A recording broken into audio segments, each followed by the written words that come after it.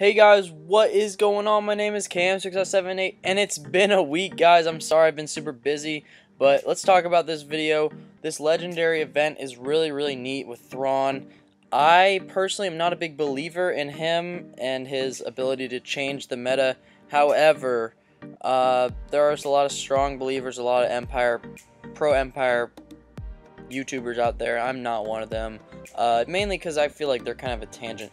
But Thrawn's Thrawn's cool. He looks really cool at least, and I'm really excited to hopefully unlock him. I have five five-star Phoenix characters. I didn't get to five-star Sabine, and you guys probably didn't either, because she is a like she's impossible to find. Like the guild store and one hard node is just it's not cool. So um, that was unfortunate, but she's she like helps a lot apparently with this event.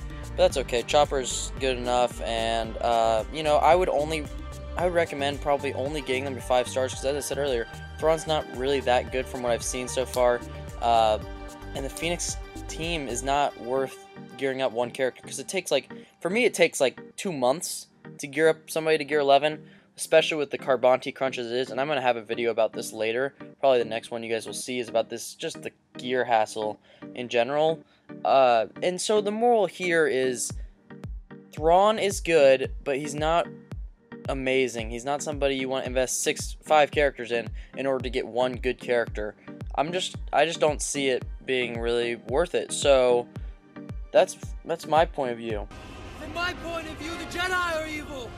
Well, then you all. I, I mean, I, I could go on and on and on about, you know, saving up your resources for using good enough characters. However, you know, Thrawn, Thrawn's just, he's just a bad gear. He's a bad gear. Nothing like Nihilus or Emperor Palpatine where they're really easy to gear. He's the complete opposite story. So I'm not sure how big of an impact he'll have on the game. It's weird to think about that he can be used for the R2 event, but more likely than not, you're not going to 7-star the Phoenix characters. I wouldn't recommend it. They're not that good. They, they really don't have very much use in the game. Their kits are underwhelming. They seemed like they were going to be the meta when they were coming out with all the uniques being shared. Everybody can counterattack and uh, hit harder with crit damage, crit chance, etc. However, they're they're just lacking some things. I don't really understand what. Maybe if Ahsoka Fulcrum would have been Phoenix, that would have helped somehow if she had a unique, but but they're just not good. And so I see it kind of like unfortunate that EA basically forced us into farming these garbage characters. So, like I said earlier, farm him only up to 5 stars, unlock Thrawn because he's probably cool to unlock. I, I, I wanted to unlock him, and that's that's as far as you want. You probably want to take him if you're free to play. If you're pay to play, do your thing. If you want to get these Phoenix Squadron characters all the way up in order to get Thrawn, do it. Okay?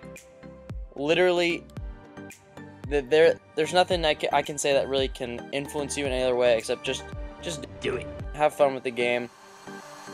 Thrawn also needs two Zetas on his leadership and his unique, so he's got a cool Empire cleansing thing where when they cleanse they can get 50% turn meter. Kind of works like an extra ability, so some people will have four abilities if they're Empire.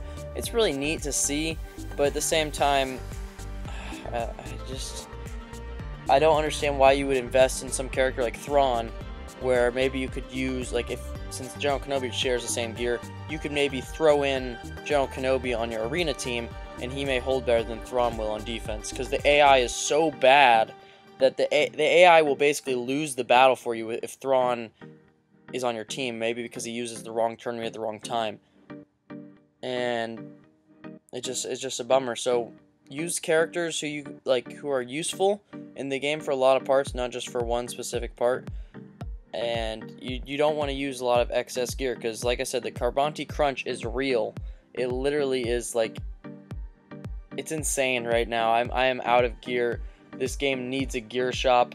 It really needs better Rancor rewards and and other things too.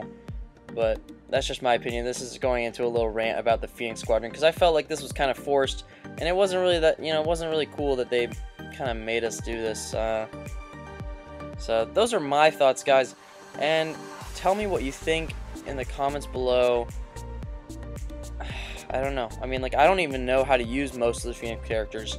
In all honesty, I, I, I, I really don't. I, I couldn't tell you what their basic did uh, or how it gives protection up or whatnot. That's just, um, that is what it is. So after I am done beating this, hopefully I do beat it first try. I will show you the mods and obviously the star level and whatnot. I mainly just use survivability mods because why not? And I love Zeb. Zeb's cool. He hits pretty hard. And Ezra's a nice addition too. But aside from that, just ugh. barf. We're going to use Taunt for Chopper. We are going to try to work through all these Stormtroopers. We're going to put backup plan on Chopper as well.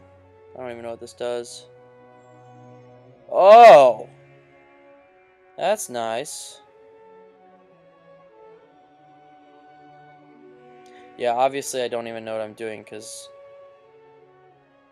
Man, I'm struggling. Wow. Anyway, I've heard Bre Ezra's your bread and butter, and the rest of these characters just are not that good. I I'm really curious to see how good they are in ships.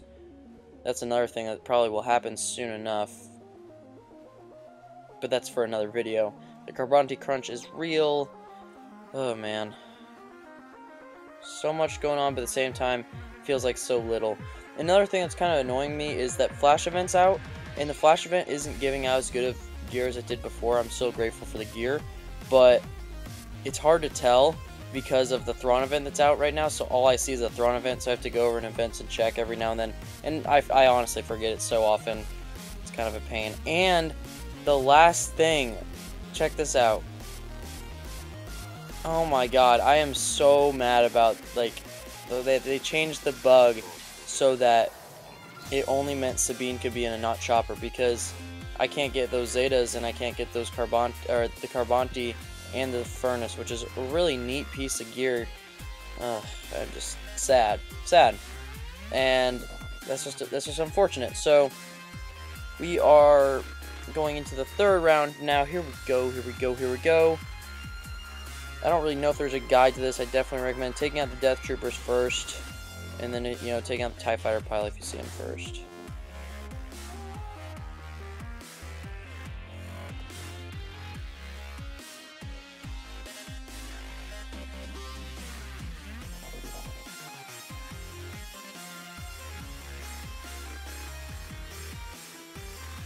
Boom.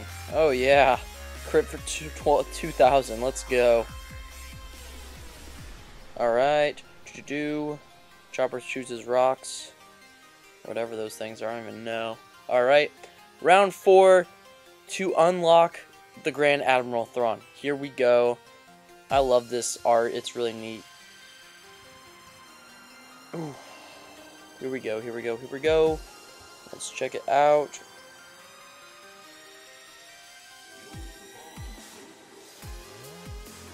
Alright. Oh my days.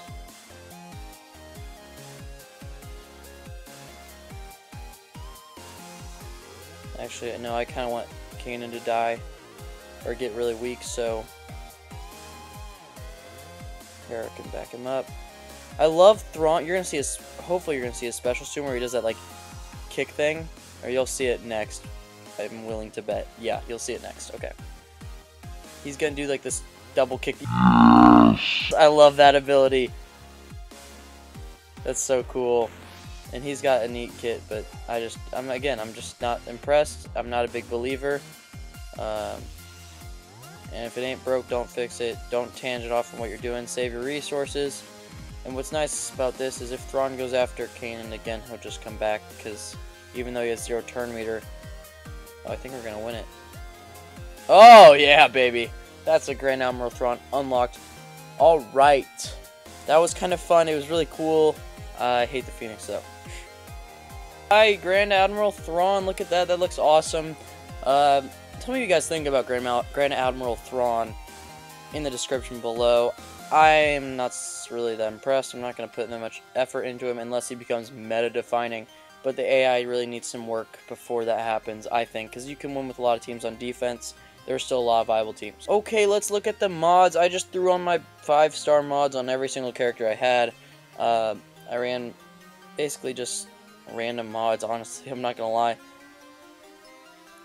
Protection, health, survivability was the only thing I was really concerned about, but I didn't really have to try that hard to get them to survive. This mod, this defense mod was huge with the health and protection. Uh, again, just protection, health. Put some potency on Zeb if you want him to stun and put daze.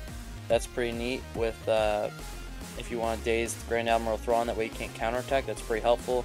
If you're struggling, I honestly didn't struggle. I recommend everybody save up your resources, save up the Galactic War currency. Don't farm anybody past 7 star on the Phoenix characters. If you're going on with your normal route, do that. Uh, Chopper was the hardest for me to start up, mainly because even though we got that huge push, the Cantina shipments is just an absolute hassle for me. I don't know why. I think because I farmed like first order officer. But guys, that's it for today's video. If you enjoyed it, drop a like, subscribe to the channel if you have more content. Links in the description. I put a lot of effort into making this video. I know it's been a while, guys. I've got a lot on my mind. I've got a lot of good content coming out soon. Peace out. Thanks EA for making it nearly impossible to get the Zetas from the Phoenix Flash event.